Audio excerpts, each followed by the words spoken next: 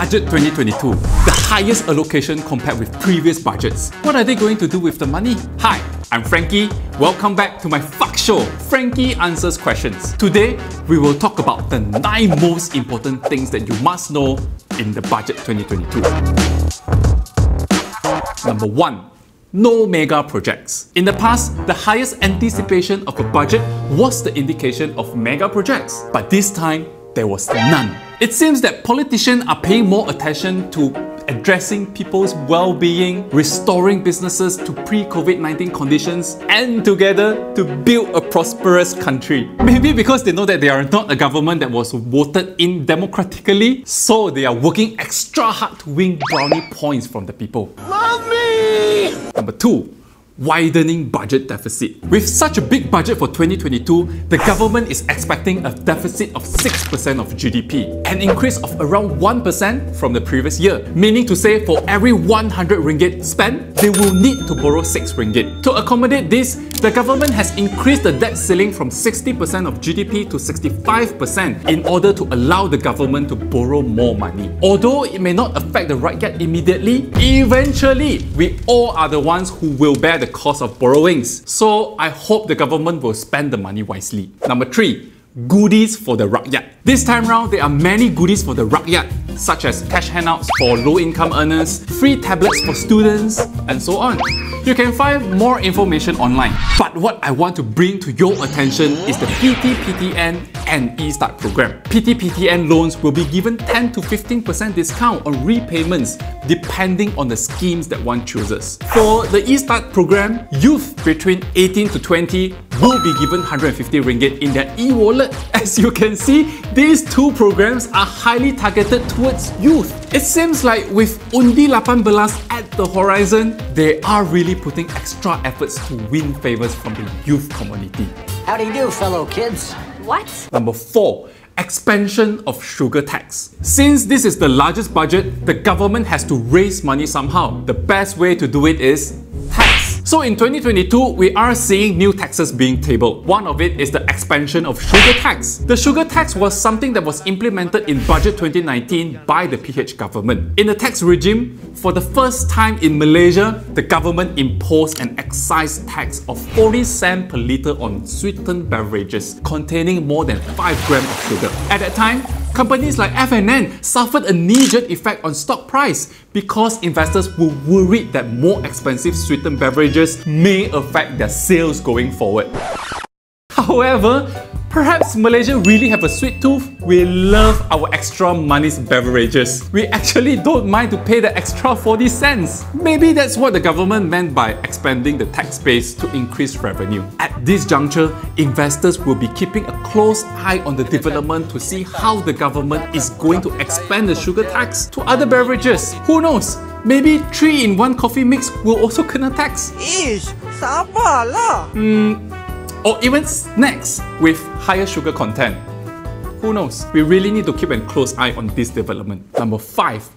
Cukai Makmur. This is a windfall tax that is going to be imposed on companies that make a profit of more than 100 million ringgit in 2022. They will be hit with a 9% extra corporate tax from the usual 24% tax that they usually pay. For this, big companies are going to suffer a drop in their net profit. But more importantly, the impact will be seen more severely in companies whose net profit is just around the 100 million mark because they will fall into the income trap of being just high enough to get taxed by the government. For example, if a company makes 90 million a year, the tax amount is 21.6 million, which result to a net profit of 68.4 million ringgit. Another company that makes 100 million ringgit, the tax amount will be 33 million, making its net profit to amount to 67 million ringgit. As you can see, the revenue is higher, but the net profit becomes lesser. So if you have any investments in companies whose profit is around 100 million ringgit, you better watch out closely. You better watch out. You better not cry. On the other hand, maybe we will see many companies setting up more subsidiaries to dilute their net profit to lower than 100 million so that they could avoid paying that windfall tax. Number 6. CPO windfall profit tax. In the past, there were tiers of windfall taxes depending on CPO market prices. The higher the price, the more taxes they have to pay based on the tiering. It's Kind of like our personal income tax where every level is a different tax bracket. From next year onwards, it will be a standardized 3% when CPO prices exceeds 3,000 ringgit per ton in Peninsular Malaysia and 3,500 ringgit per ton in Sabah and Sarawak. This is good news for local palm oil producers as it helps to register better profit for plantation companies. On the other hand, it also helped to boost Malaysian palm oil competitiveness in the global market. If you are invested in plantation stocks, good for you. Number 7. Expansion of nicotine tax. I think this is by far the smartest way for the government to kill two birds in one stone. First, they get to raise money.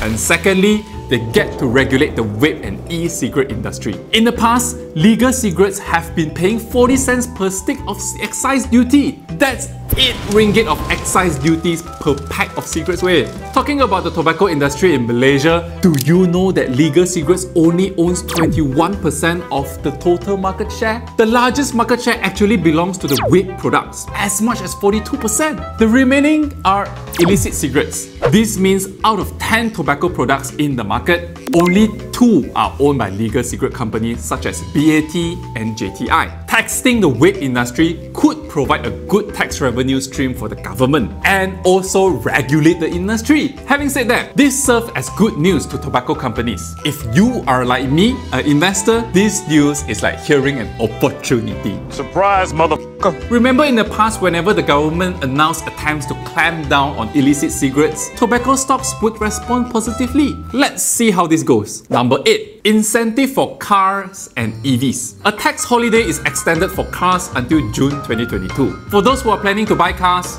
good news for you. However, from an investment perspective, I'm not sure how this will boost car sales anymore. What's more exciting is the new EV incentives. Electric vehicles or EVs will be effectively tax-free as these vehicles will not be subjected to import duties, excise duties and sales tax. EV owners will also benefit from the tax relief of 2,500 ringgit. Ho se liao. Anyone who wants to buy an EV, ini kali lah. With that in mind, companies that produce EVs should expect a boost in their EV sales. Who do you think will be the winner?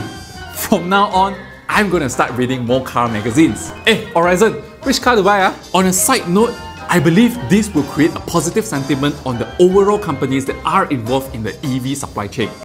You know what? Is that actually that actually happened? I th- of course it happened. Number 9.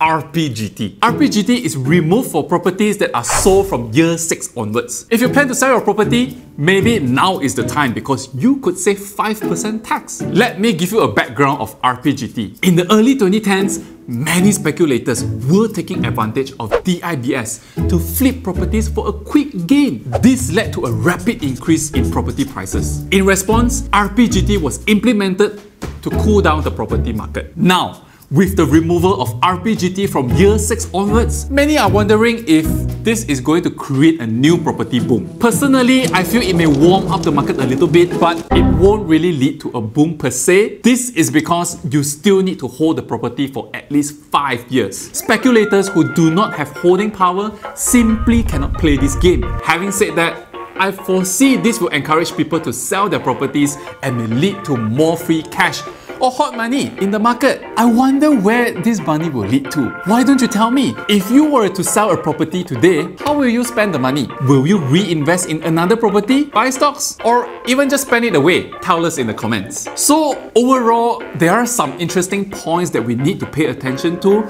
such as Cukai Makmur, EV incentives, plantation windfall tax, sugar tax, and nicotine tax. I think these are the key factors this year that could affect the stock market in the near future. However, I don't expect big swings in the market from this budget news alone. Instead, we may want to shift our attention to commodities since the world is facing inflationary pressures due to high commodity prices. We have already seen a late rally on plantation stocks after CPO prices rose for a period of time. Today, oil price, it's above $80 per barrel and the Malaysian oil and gas stocks are indeed still crouching tigers. While the sector relies heavily on oil majors like Petronas for actual activities, perhaps it is right for us to position our portfolio for that day to come. That's all we have for today. Hashtag FUP.